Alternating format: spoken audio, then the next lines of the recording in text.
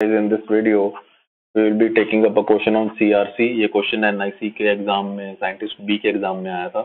ठीक है? कई बच्चों को इनमें इसमें कंफ्यूजन था तो मैं इसके लिए पूरी सेपरेट वीडियो लेके आया हूँ। कि CRC actually cyclic redundancy checksum है जो, वो एरर करेक्शन में बेसिकली यूज़ होता है। Error detection and correction both में यूज़ होता है। क्योंकि तो जब हम सीआरसी निकाल लेते हैं तो सेंडर क्या करता है? एक मैसेज के साथ सीआरसी अपेंड करके भेज देता है। टू द रिसीवर तो ये सेंटर साइड है मेरा, ठीक है? और रिसीवर क्या करता है? इस सीआरसी को अलग करके चेक करता है कि ये सीआरसी इसी मैसेज के साथ रेलिवेंस रखता है। और अगर है तो ना ही कोई एरर है। There is no error detected and there is no error to be corrected okay तो ये बर्स्ट एरर और सिंगल बिट एरर दोनों ही एरर्स को जस्टिफाई करता है कि है एरर या नहीं एरर डिटेक्शन के फंडे में, ठीक है? तो आज हम देखेंगे सीआरसी का फंडा, ठीक है? तो अब सबसे पहले क्या है? There is there are two things first is divisor and second is message divisor में आपको यहाँ पे पॉलिनोमियल फॉर्मेट में दिया हुआ है that is x power five x four x two plus one तो पहले इसे सेटराइट करते हैं।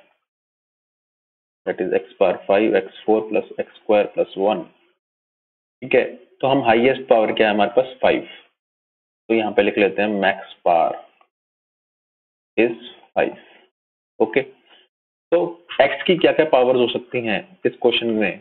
जैसे हाईएस्ट पावर अगर 5 है तो उससे कम 4 उसके कम 3 उसके बाद 2 उसके बाद 1 उसके बाद 0 x की पावर 0 कॉल्ड इज़ 1 किसी की भी पावर 0 इज़ इक्वल टू 1 ठीक है? तो हमारे पास x5 अवेलेबल है तो वहाँ पे वन लिख लेंगे। एक्स की पावर फोर अवेलेबल है वन लिख लेते हैं। एक्स की पावर टू अवेलेबल है थ्री नहीं है। जहाँ पे नहीं है एक्स की पावर अवेलेबल वहाँ पे ज़ीरो और एक्स की पावर टू अवेलेबल है, वहाँ पे वन और एक्स की पावर वन अवेलेबल मतलब एक्स अवेलेबल है, नहीं अवेलेबल है। यहाँ पे एक्स नहीं अवेलेबल है। तो ज़ीरो और एक्स की power zero that is one that is available तो हम वन लिख लेंगे। ठीक है एक्स की पावर टू अवेलेबल से हमने वन लिख लिया। ठीक है? तो हमारे पास जो ये चीज़ निकल के आई है, ये है divisor in the form of bit pattern in format of bits right अब इसको हम रियल अपना डिवाइजर मानेंगे। पहली बात तो ये डिवाइजर का फंडा क्लियर हुआ। अब जो मैसेज है मैसेज हमें दिया हुआ है one zero one triple zero one one zero one अब जो हाईएस्ट पावर ऑफ़ एक्स हमने फाइव नोट कर रखा था, जितने हाईएस्ट पावर होगा जितना, उतने नंबर ऑफ़ बिट्स मतलब पाँच जीरोस हम मैसेज में अपेंड कर देंगे जो ये चीज़ है। पहले हमने अपेंड किया, अभी सीआरसी नहीं निकाला। सीआरसी तो बाद में निकलेगा। सीआरसी निकालने के लिए हम यहाँ पे अपेंड कर देंगे। ठीक है? यहाँ पे। ये यहाँ पे अपेंड हो जाएँगी पाँच zero zero zero zero zero zero और दिस इज़ आर मैसेज और इसका हम पहले सीआरसी निकालेंगे।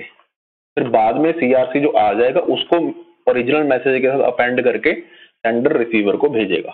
ठीक है? कंफ्यूज मत होइएगा। सबसे पहले मैंने दो तरह के अपेंड की बात की। पहले मैं मैसेज में नंबर ऑफ़ जीरोज अपेंड करूँगा। कितने जीरोज अपेंड करूँगा? जो एक्स की मैक्सिमम पावर होगी डिवाइजर में। फिर उसके बाद डिवाइड करके, इस डिवाइजर से इसे डिवाइड करके जो मेरे पास रिमाइंडर निकलेगा, वो सीआरसी होगा। उस सीआरसी को इसी ओरिजिनल मैसेज के साथ अपेंड करके सेंटर भेजेगा रिसीवर को।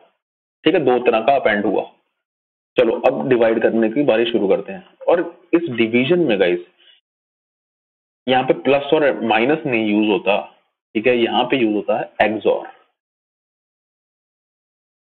तो एक्सोर का ट्रुथ टेबल गाइस क्या होता है? Zero zero zero one one zero one one मान लीजिए मेरे पास ये है। This is my x and this is y.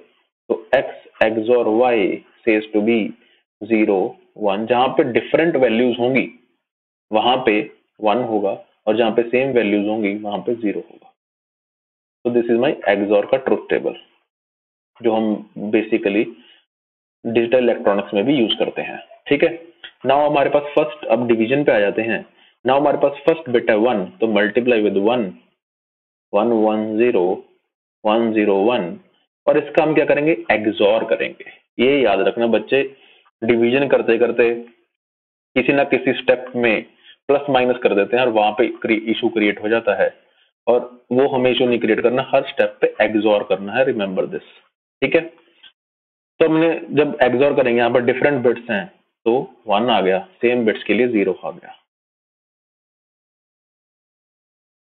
Okay first zero will be ignored and one more bit will be taken from here okay again पहली bit one है तो यहाँ पे वन से कर देंगे। One zero one zero one same bits हैं zero different bits है one first bit ignored one more bit अब बिट्स का ध्यान रखेंगे गाइज़ ये हमने ये पहले यहाँ पे लिया, अब यहाँ से हम यहाँ पे लेंगे। ठीक है? पहली बिट ज़ीरो है तो ज़ीरो से ही मल्टीप्लाई कर देंगे, ये याद रखना, ठीक है? कई बुक्स में और कई वेबसाइट्स पे इसे सीधा ही वन से मल्टीप्लाई करके, जहाँ पे फ़र्स्ट वन आता है, वहाँ से ही हमने वन वन वन करके मल्टीप्लाई करके निकाला हुआ है। वो थोड़ा शॉर्टकट लगता है, लेकिन एंड में सीआरसी जो निकलता है उसमें थोड़ी सी कंफ्यूजन रह जाती है कि एक बिट पहले, एक बिट बाद में है। अगर आप ये ज़ीरो वाला फॉर्मेट भी यूज़ करेंगे ना साथ में तो उसमें सीआरसी निकालने में कोई भी इशू नहीं आएगा इन दी एंड कोई डाउट ही नहीं रहेगा। तो this method is very clear ठीक है तो ज़ीरो से मल्टीप्लाई जब करेंगे तो क्या आ जाएगा इस वन अब यहाँ पे भी एग्जॉर करना है, ठीक है? जब ज़ीरो ज़ीरो है सेम है तो क्या गया zero one one one and zero first bit will be ignored and one more thing this bit will be taken care right so अब हमारे पास triple one zero one zero आ गया है। अब पहली बिट है वन तो हम वन से मल्टीप्लाई कर देंगे। तो one one zero one zero one different है तो one one one one zero and zero first bit will be ignored and now this one will be taken care over here तो first bit is zero तो zero से multiply कर दो। Zero zero zero zero zero zero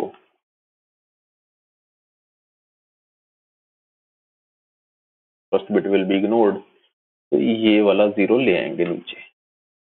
ठीक है? अब पहला bit one है तो वन से कर देंगे। One one zero one zero one right so in this question guys one zero one zero zero first bit will be ignored और एक और ज़ीरो ले आएँगे। Okay okay. अब यहाँ पे क्या करेंगे? पहली बिट ज़ीरो है zero zero zero zero zero zero zero one one zero one and zero this will be ignored मैं यहाँ पे आगे कंसीडर कर लेता हूँ। ये बिट हमारा इग्नोर हो गया था। और हम जब इग्नोर कर दिया तो एक और ज़ीरो ऊपर से लेके आएँगे। ज़ीरो तो this will be the, I think, one zero zero, right?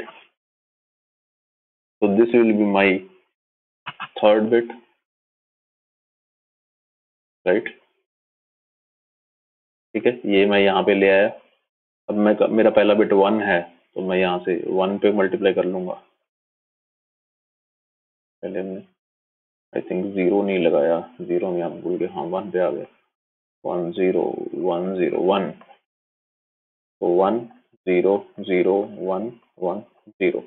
this bit will be ignored this will be taken care zero पहला बिट वन है तो वन से कर लेंगे।